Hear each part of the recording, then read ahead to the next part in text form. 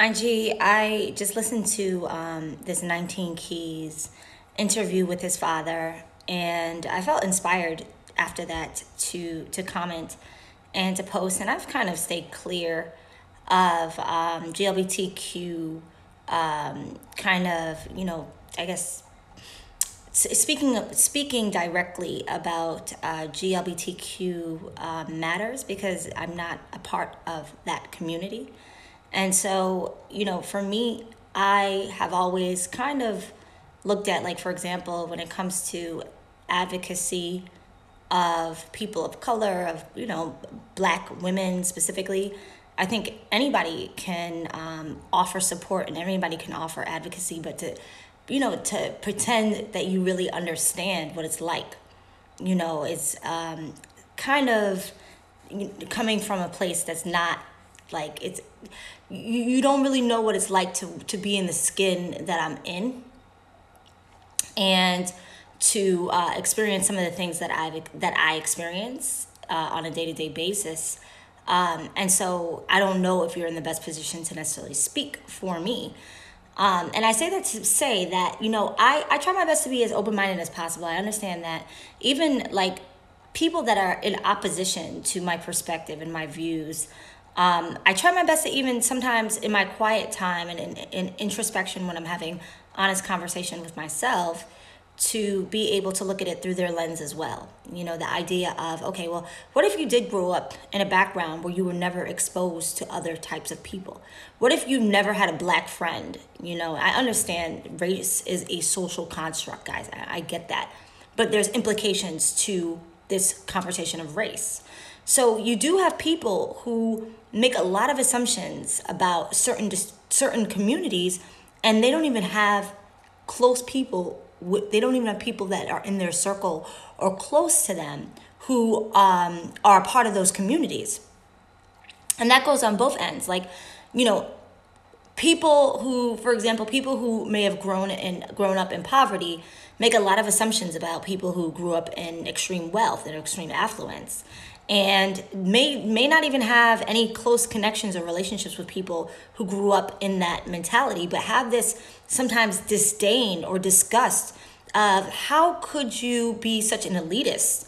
How could you lack such a sense of compassion for other people that you share the planet with? And the truth is just like they don't know what it's like to walk in your shoes you don't know what it's like to walk in their shoes. So it's ignorance going both ways. However um, you know, with, with privilege, it's a little bit more, they're, they're, they're able to have a little bit more comfort in their ignorance.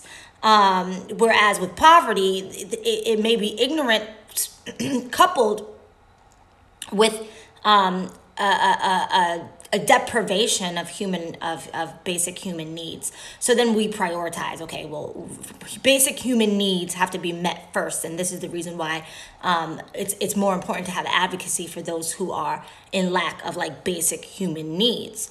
So when i talk about you know the glbt community I don't know what it's like to be a part of that community, but when it, when we are com- comparing um, plights if if there is a plight where children are not able to have like access to clean water or like people are you know being thrown in jail on a mass scale or um, you know people aren't having to access to funds or adequate opportunities to be able to provide for their families i think that there there is precedence pay, um, more on those type of needs than the ability uh, for a, a same sex couple to to marry each other. That's my opinion. And so when I when I look at certain things, right? Because there's a lot of stuff going on with like the thought police and there's a lot of stuff going on with like basically trying to homogenize people and i want to let the glbtq community know that nobody has to condone like who you are like like no one's approval of who you choose to love should sway you, affect you or bother you in any way shape or form. Your lifestyle is not in anyone's hands to approve of or to condone. So let's be very, very clear about that. But the way that things are being gone about, the way you're going about things is not, um, it's not effective. And I'm making a gross generalization, guys. But this you know policing of thought and um, ostracizing people and taking away opportunities from people because they make remarks that are you know um, are kind of like resembling homophobia or things that are very offensive to you going about it in that way is not productive. Why? Because people still hold those opinions regardless if you take their jobs away, regardless if you take their platforms away, they still feel that way. And all it is is kind of making people more closeted about their feelings rather than um, creating a world of uh, more intelligent people and an atmosphere that, of people who live in more cohesion and more harmony. And so, what I think is really a better solution is to be able to have cross dialogues dialogues uh, with people of different faiths. When we talk about religion, a lot of people within the GLBTQ community are anti religion, anti Christianity or Islam or Judaism. Why? Because it's it, a lot of times holds um, and i'm not trying to speak for any community but from what i am assuming i think that there's a lot of um, restrictions suppression uh, a lot of times people who might have grown up like in the catholic church um, believed like there was a lot of hypocrisy going on, uh, the various reasons, and and and I think the the bottom line that a lot of people, gay people, don't um, rock with the church or you know the mosque or the Torah or whatever is because there's a general belief that their lifestyle or who they choose to love is not something that is um, received with open arms. And the truth about that is it's not because fundamentally Christianity Islam, Judaism, the three Abrahamic faiths, the three monotheistic religions, in their original texts, there is not really room for that. And so, any um, imam or rabbi or uh, priest or minister that is um, saying that that's not the case is kind of taking the word and switching it and kind of and that's to say i don't i didn't come up with any of these religions. Hell or heaven is not i don't have the keys to the kingdom like to let you in or like shut you out. Um but fundamentally like originally it's not it doesn't condone the lifestyle and just like in America, there are rules to that govern this um, this country, right? We have the law that governs this country. There are laws that govern monotheistic faiths. So if you don't fit in, you get in where you fit in. If there's a situation where you're like, I don't really like like this. I feel like it's ignorant. I feel like, uh, then then you don't then you opt out. But I would I would be like you know, be, being like kind of ridiculous to go to a basketball game and asking them to like change the rules when the rules have already been always been played this way.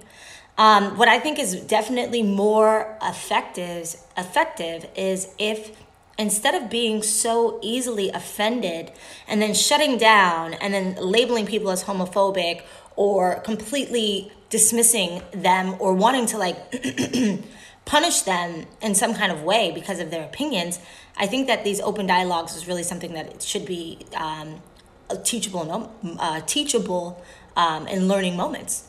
Because if the objective is to create a more harmonious and cohesive atmosphere, um, name calling people or punishing people really is not the solution.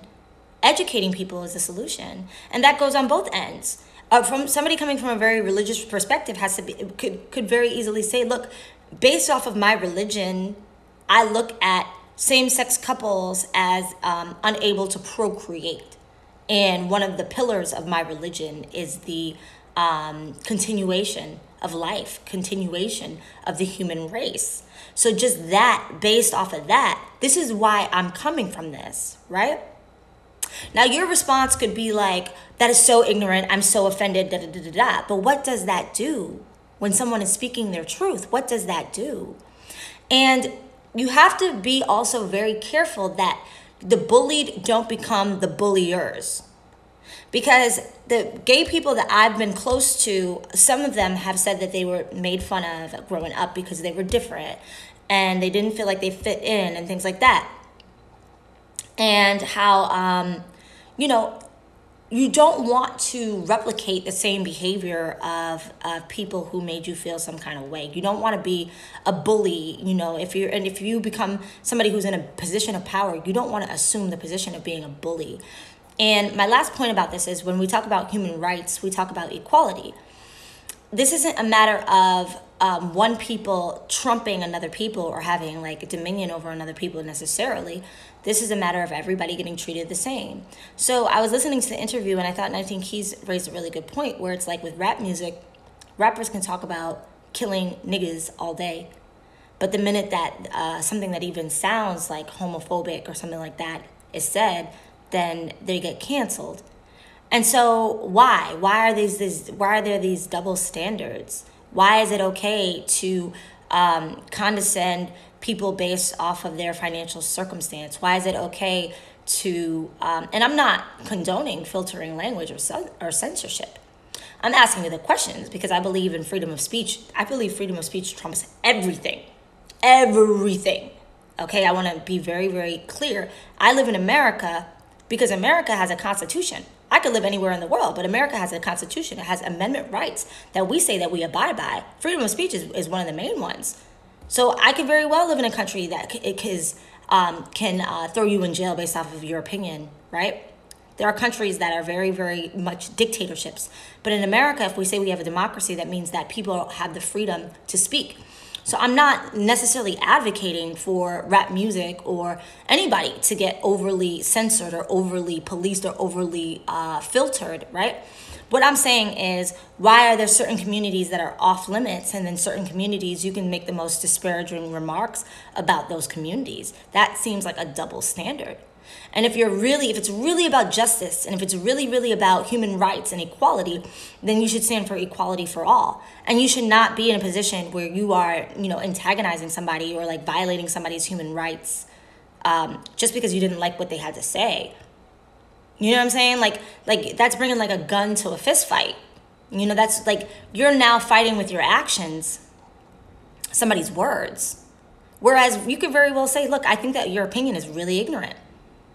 And I don't agree with anything that you have to say. But you are entitled to have an ignorant opinion under our flag, under our democracy, under our constitutional rights. You are entitled to be ignorant. That is your that is your right.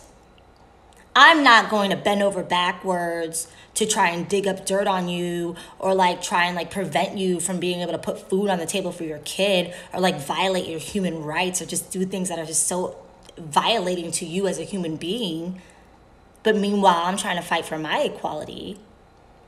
It doesn't work that way. It's not going to work that way. You can't be simultaneously responsible for somebody's oppression and meanwhile you're fighting for your, your freedom, your liberation, and your freedoms.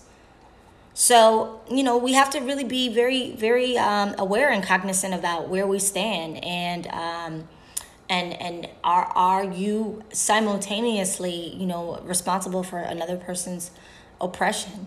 Um, people are free to to feel how they want. People are free to speak what they want. You know, it shouldn't really sway anybody either way. All right. Anyways, until next time, y'all. Peace.